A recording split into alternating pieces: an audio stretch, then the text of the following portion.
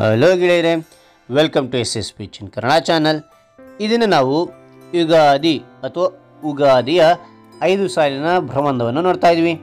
ಹಾಗಾದರೆ ಈ ಒಂದು ವಿಡಿಯೋ ಇಷ್ಟವಾದಲ್ಲಿ ಲೈಕ್ ಮಾಡಿ ಶೇರ್ ಮಾಡಿ ಸಬ್ಸ್ಕ್ರೈಬ್ ಆಗೋದು ಮರಿಬೇಡಿ ಅಂತ ಹೇಳ್ತಾ, ಹಾಗಾದರೆ ಈ ಒಂದು ವಿಡಿಯೋ ಬಗ್ಗೆ ನೋಡ್ತಾ ಹೋಗೋಣ ಬನ್ನಿ.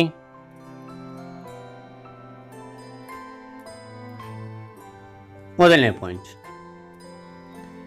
ಯುಗಾದಿ ಯುಗಾದಿ.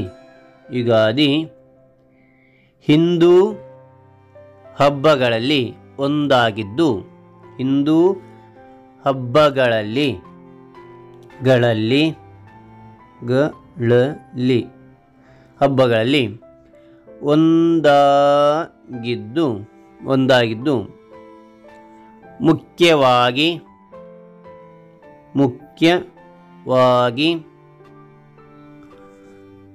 ಆಂಧ್ರ ಪ್ರದೇಶ ಆಂಧ್ರ ಪ್ರದೇಶ ತೆಲಂಗಾಣ ತೆಲಂಗಾಣ ತೆಲಂಗಾಣ ಕರ್ನಾಟಕ ಕರ್ನಾಟಕ ಕರ್ನಾಟಕ ಮತ್ತು ಮಹಾರಾಷ್ಟ್ರದಲ್ಲಿ ಮತ್ತು ಮ, ಹ, ರಾಷ್ಟ್ರ, ಮಹಾರಾಷ್ಟ್ರದಲ್ಲಿ ಆಚರಿಸಲಾಗುತ್ತದೆ. ಯುಗಾದಿ ಹಿಂದೂ ಹಬ್ಬಗಳಲ್ಲಿ ಒಂದಾಗಿದ್ದು, ಮುಖ್ಯವಾಗಿ ಆಂಧ್ರಪ್ರದೇಶ, ತೆಲಂಗಾಣ, ಕರ್ನಾಟಕ ಮತ್ತು ಮಹಾರಾಷ್ಟ್ರದಲ್ಲಿ ಆಚರಿಸಲಾಗುತ್ತದೆ. ಎರಡನೇ ಪಾಯಿಂಟ್. ಪಕ್ಷಿಗಳಲ್ಲಿ ಪಕ್ಷಿಗಳಲ್ಲಿ ನವಿಲು ನವಿಲು ಪ್ರಾಣಿಗಳಲ್ಲಿ ಪ್ರಾಣಿಗಳಲ್ಲಿ ಪ್ರಾಣಿಗಳಲ್ಲಿ ಪ್ರಾಣಿಗಳಲ್ಲಿ ಮಾನವ ಮಾನವ ಮಾನವ ಋತುಗಳಲ್ಲಿ ಋತುಗಳಲ್ಲಿ ಋತುಗಳಲ್ಲಿ ವಸಂತ ಋತು ವಸಂತ ಋತು ಶ್ರೇಷ್ಠವಾದಂತೆ ಶ್ರೇಷ್ಠವಾದಂತೆ ಶ್ರೇಷ್ಠವಾದಂತೆ. ಎಲ್ಲ ಹಬ್ಬಗಳಲ್ಲಿ ಎಲ್ಲ ಹಬ್ಬಗಳಲ್ಲಿ ಯುಗಾದಿಯು ಶ್ರೇಷ್ಠ. ಪಕ್ಷಿಗಳಲ್ಲಿ ನವಿಲು ಪ್ರಾಣಿಗಳಲ್ಲಿ ಮಾನವ ಋತುಗಳಲ್ಲಿ ವಸಂತ ಋತು ಶ್ರೇಷ್ಠ, ಶ್ರೇಷ್ಠವಾದಂತೆ ಎಲ್ಲ ಹಬ್ಬಗಳಲ್ಲಿ ಯುಗಾದಿಯು ಶ್ರೇಷ್ಠ. ಮೂರನೇ ಪಾಯಿಂಟ್. ಯುಗಾದಿ ಯುಗಾದಿ ಹಬ್ಬ ಯುಗಾದಿ ಹಬ್ಬ. ಚೈತ್ರ ಮಾಸದ ಚೈತ್ರ ಮಾಸದ ಚೈತ್ರ ಮಾಸದ ಶುಕ್ಲ ಪಕ್ಷದ ಶುಕ್ಲ ಪಕ್ಷದ ಪಕ್ಷದ ಪಾಡ್ಯದಂದು ಬರುತ್ತದೆ. ಯುಗಾದಿ ಹಬ್ಬ ಚೈತ್ರ ಮಾಸದ ಶುಕ್ಲ ಪಕ್ಷದ ಪಾಡ್ಯದಂದು ಬರುತ್ತದೆ. ನಾಲ್ಕನೇ ಪಾಯಿಂಟ್. ಯುಗಾದಿಯ ಯುಗಾದಿ ಯುಗಾದಿಯ ಯುಗಾದಿಯ ಅರ್ಥ ಯುಗದ ಆದಿ ಯುಗದ ಆದಿ ಯುಗಾದಿ ಯುಗಾದಿ ಎಂಬ ಶಬ್ದ ಎಂಬ ಶಬ್ದ ಸಂಸ್ಕೃತದ ಸಂಸ್ಕೃತದ ಸಂಸ್ಕೃತದ ಯುಗ ಯುಗ ಯುಗ ಮತ್ತು ಮತ್ತು ಆದಿ ಆದಿ ಎಂಬ ಎರಡು ಶಬ್ದಗಳಿಂದ ಎರಡು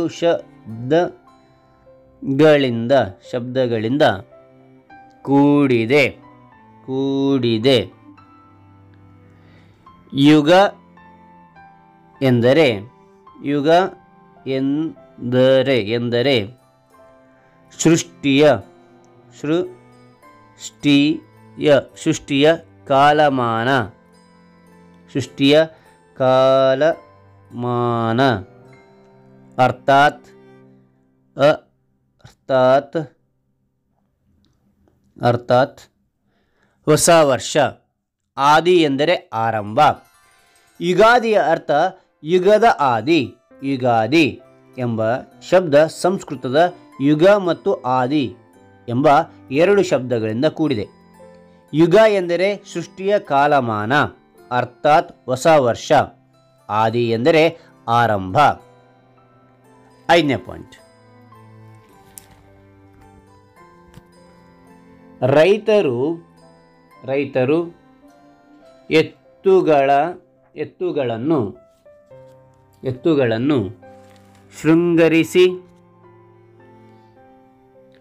ಸಂಭ್ರಮದಿಂದ ಸಂಭ್ರಮದಿಂದ ಹಬ್ಬವನ್ನು ಹಬ್ಬವನ್ನು ಆಚರಿಸುತ್ತಾರೆ ಆಚರಿಸುತ್ತಾರೆ ಮತ್ತು ಇಂದು ಇಂದು ಹುಣಸೆ ಹುಣಸೆ ಹಣ್ಣು ಬೆಲ್ಲ ಮಾವಿನಕಾಯಿ ಮಾವಿನ ಕಾಯಿ ಉಪ್ಪು ಮೆಣಸು ಬೇವು ಬೇವು ಇತ್ಯಾದಿಗಳ ಮಿಶ್ರಣ ಇತ್ಯಾದಿಗಳ ಮಿಶ್ರಣ ಮಾಡಿ ಮಿಶ್ರಣ ಮಾಡಿ